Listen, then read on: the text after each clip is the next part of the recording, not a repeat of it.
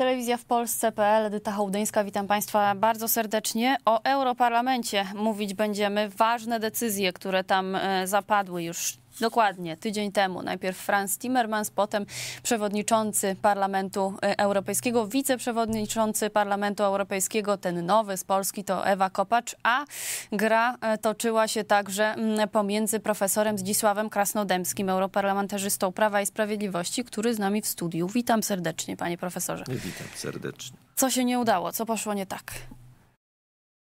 No, przede wszystkim e, parlament te duże grupy polityczne nie trzymały się zasady, no, która do tej pory obowiązywała, obowiązywała jeszcze w roku 2014, a nawet wtedy, kiedy ja jeszcze zastępowałem e, pana, e, pana przewodniczącego Czarneckiego po jego odwołaniu. Mianowicie, no to, to jest tak, że stanowiska mm, w Parlamencie Europejskim obsadza się według pewnego klucza. Czasami są pewne odstępstwa od tego ale zwłaszcza jeżeli chodzi o stanowiska wiceprzewodniczących parlamentu. To jaki którzy... był klucz w tym przypadku? No klucz jest taki, to jest e, klucz, jest, e, to jest według liczebności grupy. No na przykład my wiemy, że teraz według tego klucza przypada, przypada nam dwie komisje, przewodnictwo w dwóch komisjach. Parlamencie Europejskim. Między Ale też oczywiście od spraw socjalnych, gdzie kandydatką jest Beata Szydło. Gdzie jest Beata Szydło i też y, Komisja Budżetu, gdzie jest kandydatem nasz kolega Holender z grupy. To nie chodzi teraz, nie są przede wszystkim podziały narodowościowe, tylko to są podziały na frakcje, tak? frakcje. I teraz oczywiście będą znowu... No właśnie, bo gdyby patrzeć na, patrzeć na narodowość, no to zgadza się. Polka została wiceprzewodniczącą Parlamentu Europejskiego. No, Polka, no bo znowu we frakcjach są, są delegacje narodowe, czy pa, partii y, z krajów członkowskich, no i tam jest, y, nie, nie, pamiętam ile jest posłów PO, no ale oni znowu na, według tego systemu proporcjonalnego, który obowiązuje również we frakcjach, mhm. frakcje sobie organizują życie, wybrali sobie to stanowisko wiceprzewodniczącego dla pani Ewy Kopacz, ale pod, podkreślmy, podkreślmy, że w tym rozdaniu nie ma żadnych kandydatów e, Platformy Obywatelskiej na stanowisko przewodniczących komisji. Mhm. W poprzedniej kadencji, ta, która mijała, przewodniczącym Komisji ITRE, Komisji Przemysłu, Badań Nauk, Energii Badań Naukowych był e, pan premier Buzek. Przewodniczącym e, Komisji AFKO, Praw Konstytucyjnych, była pani Hibner. Mhm. Jeszcze był pan Siekierski z PSL-u, był przewodniczącym Komisji Agri.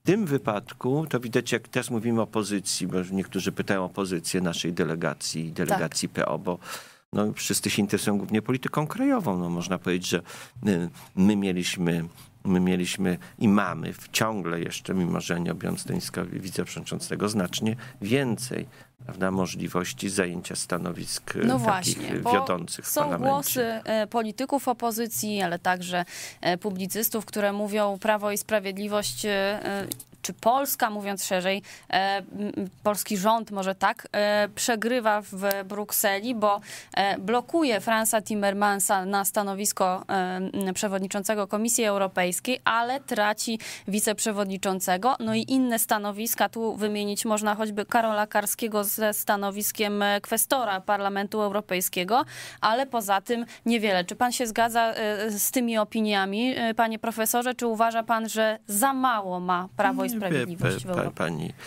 pani redaktor, to jest oczywiście szum medialny, ponieważ nasza opozycja nie jest w stanie w ogóle myśleć i prowadzić jakiejkolwiek merytorycznej e, dyskusji i analizy. Więc e, to oczywiście jest tak. Wielkim sukcesem jest, było zablokowanie Franza Timmermansa, ponieważ po odrzuceniu przez prezydenta Macrona kandydatury Manfreda Webera. W zasadzie wszyscy osace już się umówili, przedstawiciele największych państw europejskich, że w związku z tym stawiają na Franza Timmer, Timmermansa. Mm, to zwycięstwo nie polega nawet tylko na tym, że on nie został, że myśmy go zablokowali. Tylko, że Być, nasz głos się liczył, tak? Że, nie, co jeszcze, jeszcze mhm. nawet więcej. Mianowicie to, że w następnym już okresie każdy polityk europejski, który będzie chciał zająć, e, zrobić karierę, prawda, zająć jakieś w przyszłości jakieś wysokie stanowisko w Unii, będzie się liczył z Europą Środkowo-Wschodnią. będzie rozumiał, że nawet jeżeli będzie y, badał nadal praworządność, to nie będzie mógł przesadzać i robić tego w sposób, w jaki to robił Franz Timmermans. Więc to jest, to, to jest prawda, na tym polega zwycięstwo polityczne, mhm. że to popłynął sygnał do tych wszystkich, prawda, osób, które tak się wykazywały w bitwie z Polską, wojnie z Polską, no, że, ale że też warto. z Czechami, że nie warto, że może warto być y, nieco bardziej stonowanym, że może warto szukać kompromisu. I w związku z tym to jest też w duchu europejskim, bo rzeczywiście pan premier podkreślał, prawda, że my jesteśmy gotowi się zgodzić, przecież dla nas Ursula von der Leyen też nie jest y, idealną kandydatką. O właśnie, i tu ale my mówimy w duchu Ursuli kompromisu, gotowi jesteśmy ją zaakceptować, bo taka jest większość. Gdyby od nas należało, gdyby od, to pewnie byśmy wysunęli, głosowali na jakiś jeszcze innym ka kandydatem, no ale jest większość, która się opowiedziała, nagle ona się pojawiła mm -hmm. jako, jako propozycja. Natomiast nie możemy się zgodzić na politykę konfrontacyjnego, który w gruncie rzeczy Unię dzieli i mhm. rozbija. Mm -hmm i ro, Pytanie, robi politykę antyeuropejską, a nie proeuropejską. Pytanie, jaką politykę będzie robiła nowa przewodnicząca Komisji Europejskiej. Fakt faktem jest y, z Niemiec. Jest, mówi się, że taką kandydatką, której głos serca e, Angeli Merkel podsuwał e, pod głosowanie.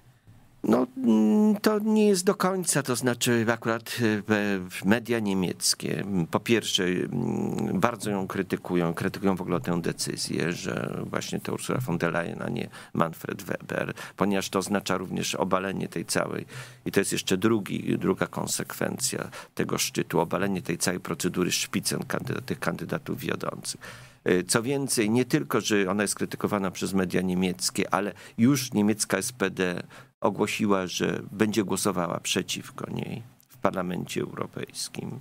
Bo 16 odbędzie się głosowanie, jeszcze nie wiemy, czy ona zostanie zatwierdzona. Teraz się liczy głosy, znowu zbiera się głosy. I, i, I w związku z tym jest już napięcie między rosnące między koalicjami, czyli SPD i CDU, bo CDU, mimo że nie było zadowolone ostatnio z tego rozwiązania, e, co, co widzieliśmy w czasie debaty w Parlamencie Europejskim, CDU zaakceptowało wynik szczytu a SPD niemieckie będzie mhm. głosowało przeciwko. I, I, jest nadzieja tylko, że, że inni socjaliści z innych krajów, zwłaszcza z Ameryki, y, z Europy Południowej, y, poprą tę kandydaturę. Mhm. Więc y, to nie jest tak, że to jest jakby rozwiązanie, które jest przez wszystkich akceptowane. Przede wszystkim Ursula von der Leyen została kandydatem na przewodniczącą nie jakby z, nie, jako kandydatka niemiecka, jako kandydatka Francji. I to też jest pewien rodzaj upokorzenia. Bo nawet jak wtedy, kiedy, kiedy prezydent Macron powiedział, że on jest gotowy, on nigdy nie poprze Manfreda Webera, ale poprze niemieckiego kandydata i mm, powiedział, że może nawet Angelę Merkel po, poprzeć. To takie pojawiły się komentarze mhm. w mediach niemieckich. No jak to? To byłaby kanclerz Merkel zostałaby przewodniczącą komisji z łaski prezydenta Francji. No wie, wie pani, te rzeczy prestiżowe odgrywają również rolę w polityce, polityce europejskiej. Panie Jaka ona będzie, tak, nie wiem, szczerze mówiąc nie wiem, natomiast się czy podkreśla. Czy będzie walczyła o e, zasady praworządności, przestrzeganie tych zasad e, i w domyśle, czy będzie szukała e, braku, braku podporządkowania się tym zasadom w Polsce? Będzie walczyła o zasady praworządności, ale my nie mamy nic przeciwko zasadom praworządności, ponieważ nie uważamy, żebyśmy je łamali.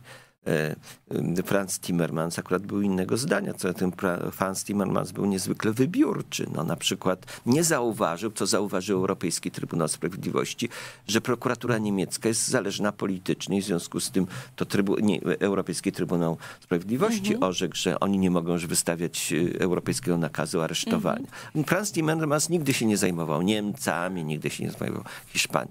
Natomiast to chodzi o to, żeby y, ten następny, mam nadzieję, że taka, tak będzie działała pani Ursula von der Leyen, odwołując się oczywiście do, do, do zasady przestrzegania prawa, nie uczyni z tego oręża walki ideologicznej. Mhm. A podkreśla się też, że ona ma doskonałe stosunki z Europą Środkowo-Wschodnią. Co więcej, ona nie jest tylko kandydatem prezydenta Macrona, tylko naszym w tym sensie. Bo sta- I to jest, jest poczucie też pewnej, myślę, mhm. wdzięczności politycznej powinno charakteryzować również jej, jej działanie jako, jako jeżeli zostanie zatwierdzone członek przewodniczącej komisji. Stawiamy tu średnik, panie profesorze, bo naszej rozmowie przysłuchuje się także Ryszard Czarnecki, europarlamentarzysta Prawa i Sprawiedliwości, który także był wiceprzewodniczącym przed panem profesorem Parlamentu Europejskiego. Czy to, że utraciliśmy to stanowisko jako państwo utracili,